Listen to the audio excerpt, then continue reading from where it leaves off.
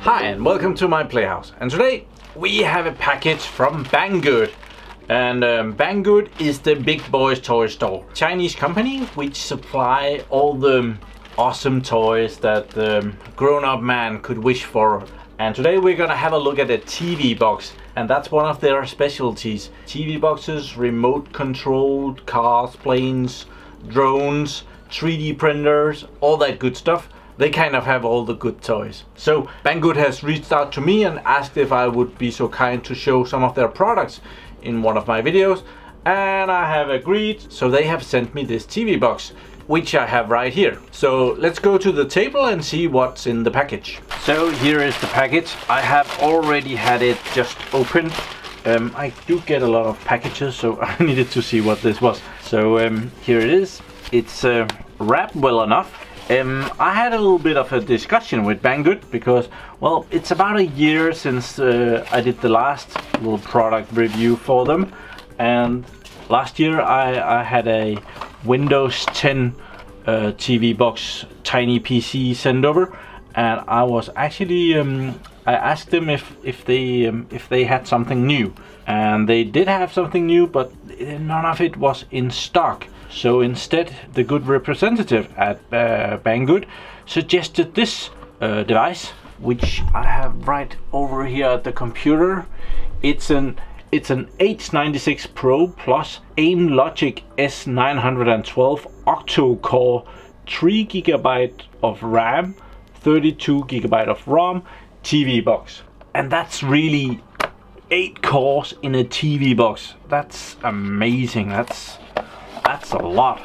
And this TV box should be able to handle 4K. Uh, it's not the first 4K TV box I have tried out and I'm gonna be trying this out and see. I have a special film that none of the TV boxes has yet been able to play. So um, in an upcoming video, I'm gonna be trying that video on this TV box as well. In this video, I wanna um, I want to showcase this and we're gonna try and connect it to my projector and see it um, see it do some picture on the wall. So when we have the TV box here, we have a little slot here for an SD card. That's uh, I'm guessing this is the front of the box. You have it on the on your table or something, and this is the front of the box. On the side, you have that SD card.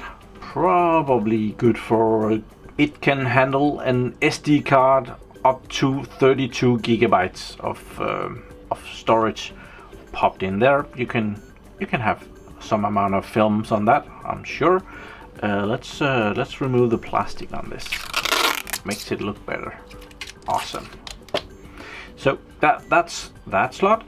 Then we have we have an Ethernet port, uh, one RJ45 connector. I'm not sure if this is 100 megabits or a gigabit uh, we'll have to see that when we test it out. Then we have an SP diff. This is an optical sound uh, in-out port. Not sure if it's both ways, but it's there. Then we have a HDMI port. This is an HDMI 2.0 and it will be able to handle 4K up to 60 frames per second. Awesome. We have an AV out and we have the 5 volt connection to power the device. There is also a power supply, but before that we have two regular USB ports. These seems to be USB 2 ports and we have a reset button right there. Hope we are not gonna be hope we are not gonna need that. And on the back it says that this is an H96 Pro. The CPU is an S912. The operating system is Android 7.1. 3 gigs of RAM, 32 gigs of ROM made in China. So let's see. Uh, did I mention the box? I think I skipped the box. They they they make it look pretty cool. Uh, unfortunately, there is an ugly piece of tape over this one, but the box is really nice and um, shiny. Uh, gold letters here. Never mind, I'm not gonna be using the box. It just gives a good feel when you open something and even the packaging is um, is well thought of. Um, power supply. These are usually 5 volt 2 amps. Let's see if we are right about that. Uh, it could be less, maybe the box uses less power. That wouldn't be a bad thing. Well, I see a problem here. Um, I see that I've gotten an American one, so but it's 5 volts, 2 amps, so I was right there. But well, we don't have these plugs here in Denmark, but I am sure I can find a converter somewhere. Let's see, and it did also label here. It says US, so that's a US plug. It is able to handle from 110 volts and all the way up to 240 volts AC. So a converter here, and it's also good for the European Union and the rest of the world. Uh, funny enough, when you order, a, when you get a TV box like this, there's always these HDMI cables. So that's mighty nice of them. Um, must admit, I have a lot of them now. So, but it's cool that it's there. Then it comes with the regular standard remote control here. Pretty normal one. Um, no batteries included. Remote, thank you. And there is a user manual. Um, that's not a big deal. It's not as if there's a lot of stuff to know about this. Uh, power issues, charging, cleaning, something about adjusting the screen. Um, yeah, cool. Also, whoops, I talked the nice Banggood representative into sending this remote control along. I um, well, when I had to decide which which product to go for, um, he suggested different things. I of course um, picked the best things that uh, I could find. I was watching other people doing YouTube videos, and this remote control was um, was recommended. So um, I asked if, if it would be okay to um, to see this as well. And this is um, it's it's for a completely different box, but it's a remote control that has a keyboard on one side, and it has a remote control on the other side. And yeah, it's just it's just cool. So we're gonna have a look at that as well. It uh, it's really meant for the well, there is a leaflet here and it, it's it's meant for the TV boxes called Neo and there's a whole streamline of Neo boxes and I do know that Banggood also has these boxes and they also have different uh, keyboards and touchpads and stuff for controlling this and this was recommended in a YouTube video so I picked that one as well so uh, it's not a Danish keyboard. I don't know if that's gonna be messing with me at some point. I'll have to figure that out. Um, it has batteries. One battery there, and the other battery is on the other side. But there is also this dongle that you put in the, your device, like here. And we could just put that in here. There and that would be able to communicate with the keyboard here. So, uh, well, let's definitely connect this. I need to go chop up some batteries somewhere. I hope I have those in stock. Okay, so I did manage to find a couple of batteries. They are not the same kind, but well, I think they it will be fine. So there, one of them down, and the other one. Right there. Let's see if there's a power on and off somewhere. No. Any lights? Yeah, it's blinking. Funny enough, I can't see that with my own eyes, but I can see it on the screen on the monitor that it's blinking. So nice. Uh, this is a special remote. It's not just a remote, it's also one of those remotes that can feel what you're pointing at. So you can use it as a mouse on the screen. It has a six axles gyroscope and accelerator acceleration meter ish thing um, so I am looking very much forward to trying that so I hope it works right out of the box over here is my um, well it's my home cinema setup I have a projector here it's uh, far from a 4K projector. It's actually only 1280 times 720. It goes down. I have an amplifier here uh, for a well, there's a subwoofer here and there are some loudspeakers around.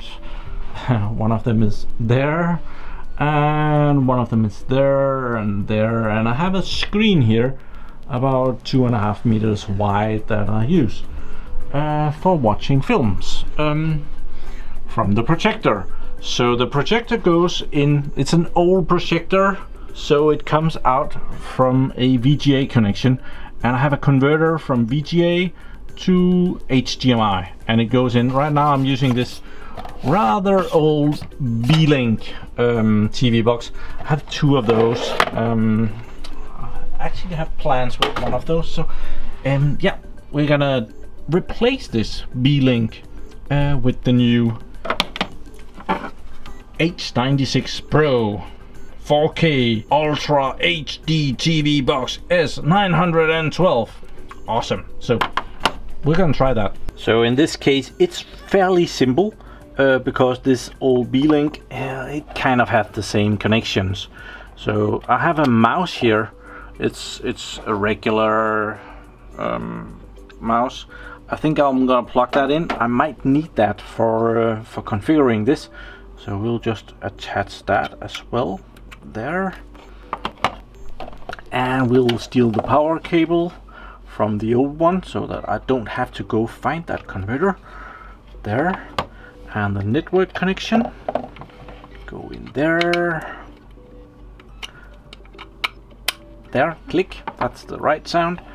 Then we have the HDMI cable I have this little converter here probably also available maybe it looks like this maybe it's in, in a new version on Banggood so let's plop that in there and um, I use this SPDIF connection, uh, light sound thing uh, to the amplifier. So we're gonna pop that in as well.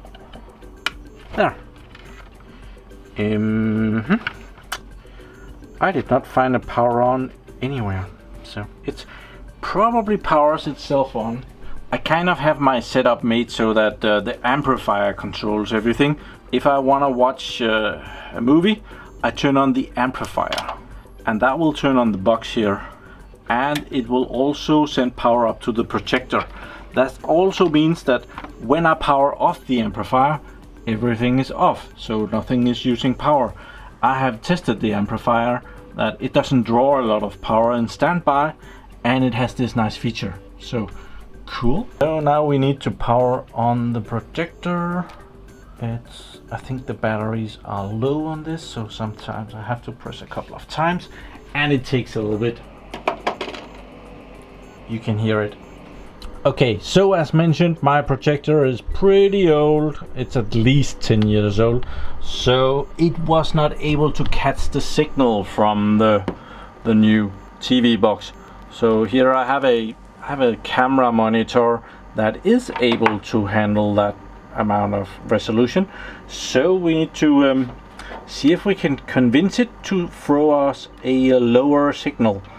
Let's see, it has a mouse because I have configured that mouse. So we should be able to, um, well, settings would be a great place to start looking for that. And where do we go and fix the screen? Okay, looking for it for quite a bit, so um, I just want to share what I found. Uh, I found it here under apps, and then I droid settings. I went in under, and then there is display, and here we can set the screen resolution, and I'm guessing very much that that is what we want. So here we have, right now it's set to 1080p 60 hertz it's probably because that's that's what this screen can um, can do. So if we uh, go down in resolution, I am guessing that uh, 720 50 hertz will be good. We have a picture, so we'll press OK to that. Maybe 60 hertz is also okay. I'll try that one instead. It's a, bit, little bit better. So, so now when this is coming out, I hope that my projector will be able to uh, handle that. I got the picture on the wall here and after a bit of tinkling I also figured out the remote. It um, this remote is meant for for the TV boxes of the same name, Mint X, Mindex. I'm not sure. This is the A2 remote control, and I found if I press this button, I get an air mouse, and I can move the mouse around just using the remote here. And um, have to remember not to use that button again because that just turns off the mouse and it doesn't move anymore so but I can press it again. So um, I have the time up here and it's uh, PM and uh, we don't use that time we use the 24 hour setting so if we press uh, settings here time and date we can um, turn that on 24 hours time. There. Also the time zone we're in a different time zone. So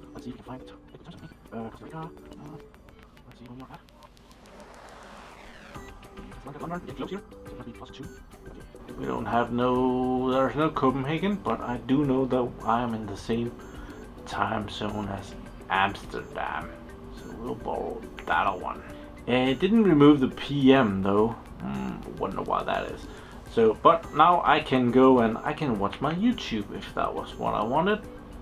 I have logged in, so let's see if it can see, see my channel. Okay, so we can press search here, set the mouse up here, change to the keyboard on the other side, press uh, my... Let's see if it figures that one. There I am. So I can go and pick the the video what I see. I wanted to see my channel here.